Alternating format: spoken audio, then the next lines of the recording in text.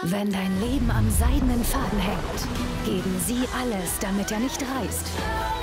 911, die neuen Folgen, heute 20.15 Uhr.